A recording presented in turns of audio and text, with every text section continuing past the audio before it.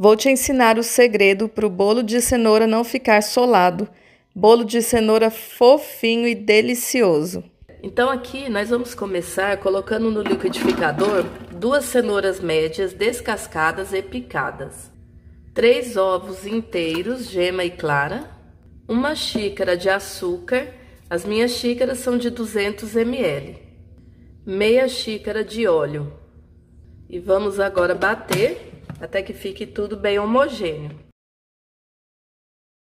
Agora eu vou acrescentar duas xícaras de farinha de trigo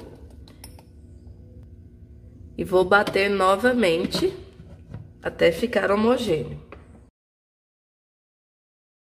Eu vou agora acrescentar uma colher de sopa de fermento em pó para bolo e vou dar uma batidinha bem rápida, que é só para misturar o fermento, é bem rapidinho. Agora vou transferir a massa para uma forma untada e enfarinhada.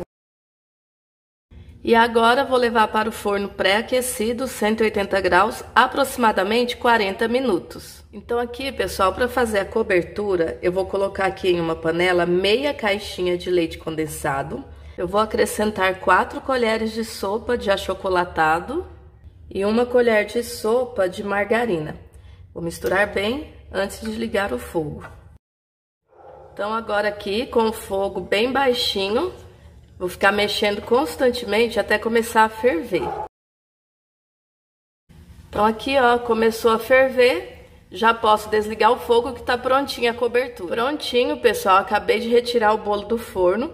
Agora vou despejar aqui a cobertura.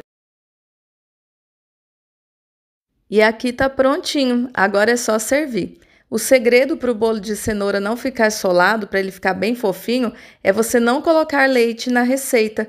Ele vai ficar assim, ó, fofinho e delicioso. Não esquece de me ajudar curtindo e compartilhando o vídeo. Muito obrigada, fiquem com Deus. Tchau, tchau.